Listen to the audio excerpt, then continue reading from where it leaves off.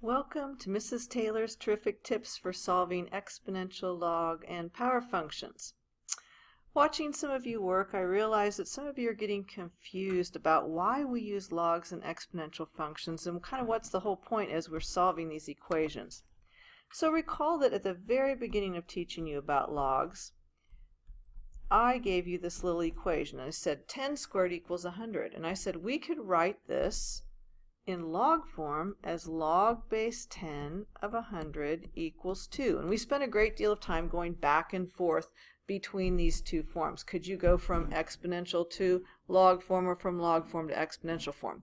The reason that's so important is when we start to solve exponential and log equations, it's absolutely essential that we can go back and forth between these two forms. For example, let's say that I want to solve an exponential equation. When I want to solve an exponential equation, so maybe I want to solve an equation that looks like this. Um, 3 to the x equals 10. Notice that the x is in the exponent position. I need to solve for x. How do I get the x out of the exponent position so that I can do something with it, so that I can figure out what it equals? The only way to get it out of the exponent position and in a position that I can solve for it is to use logs. There's two ways I can do this. Number one, I can rewrite it directly into log form. Notice, here's my base, 3. My exponent is on the other side of the equal sign, and 10 is the number inside the log. So this is log base 3 of 10 equals x. Look at this. Now x is right where I can solve for it. I've actually already solved for it. x is now calculable. I can say log base 3 of 10 on my calculator and I know what x is.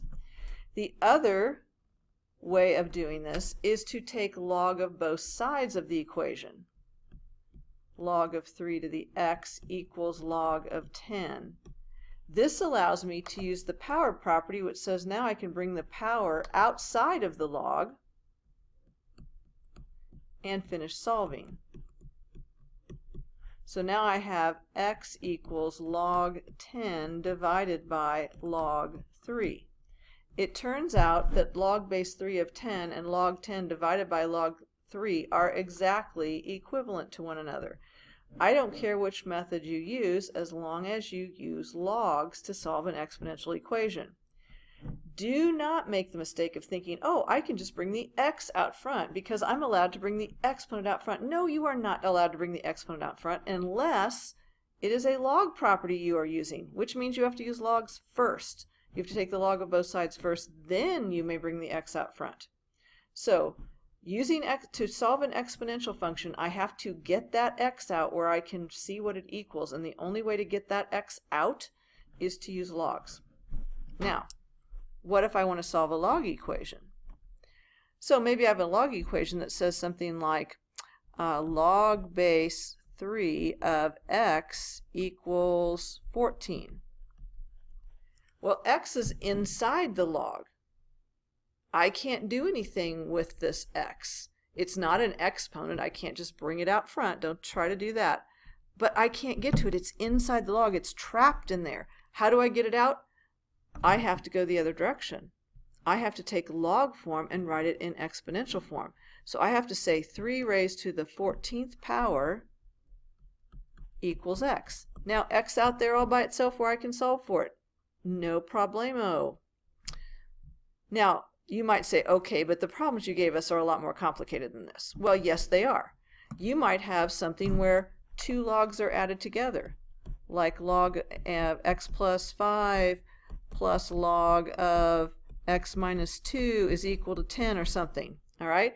Your goal is to get it down into an expression that has one log with a base and the, some some expression with x inside equal to something. Your goal is to get it down into something that looks very similar to this so you can write it like this. So, in this case, log of, I need to multiply these together. If I multiply x plus 5 times x minus 2, I end up with x squared plus 3x minus 10 equals 10. Then This is a log base 10 because it's, an, it's just a regular log. So now I have to do 10 to the 10th equals x squared plus 3x minus 10. Now, you still have to subtract 10 to the 10th from both sides, and this is a quadratic equation. You'll probably have to use the quadratic formula. This is a big mess.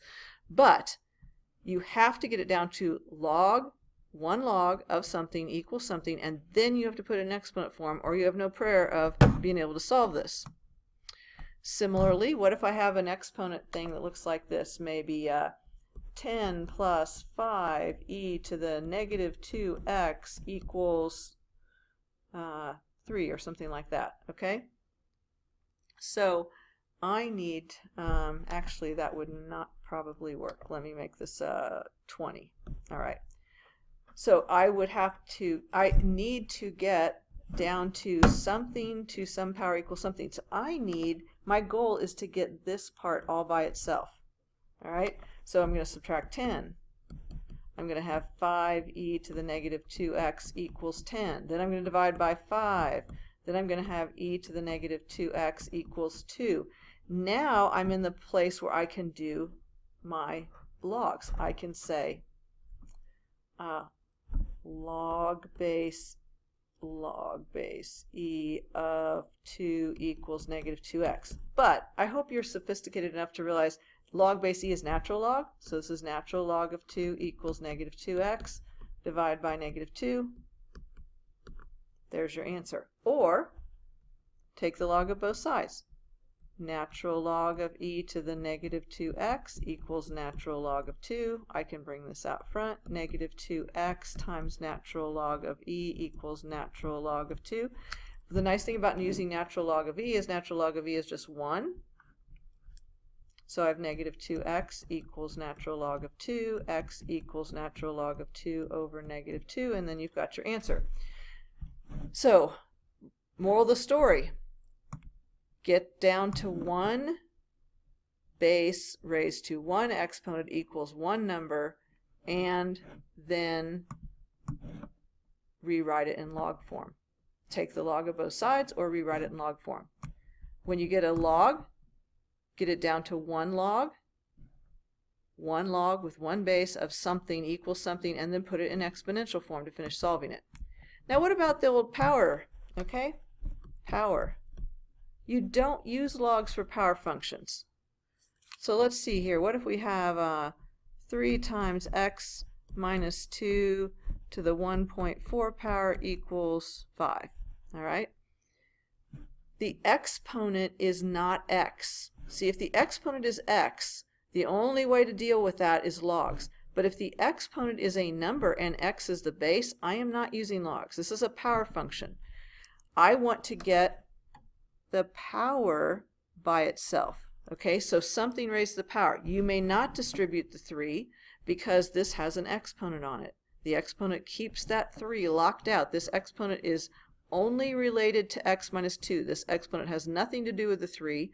So I need to start by dividing everything by 3. I have x minus 2 to the 1.4 power equals 5 thirds. Now, I need to undo this exponent so I can get the x. It's trapped inside. I need to get it out. How do I get it out? I have to remove this exponent. How do I remove this exponent? Use a reciprocal power. 1 over 1.4. That will always work. So 1.4 times 1 over 1.4, when you raise a power to a power, you multiply the exponents, that equals 1. So this ends up just being x minus 2. I get this number on my calculator, whatever it happens to be. Notice I'm not really doing any of the calculator work. Then I'm going to add 2 to both sides, so plus 2. So you end up with x equals this number, whatever it is, plus 2. Okay, so power, use reciprocal powers. Exponential functions, use logs logs, rewrite it in exponent form. Make sure you can go back and forth from one form to the other, but you don't go back and forth from one form to the other until you get it down, until you isolate the base with its power, till you isolate the log, till you isolate the part raised to a power. Okay, so you isolate that part first. Once it's isolated, then apply the, the solution, or the solving method, I should say.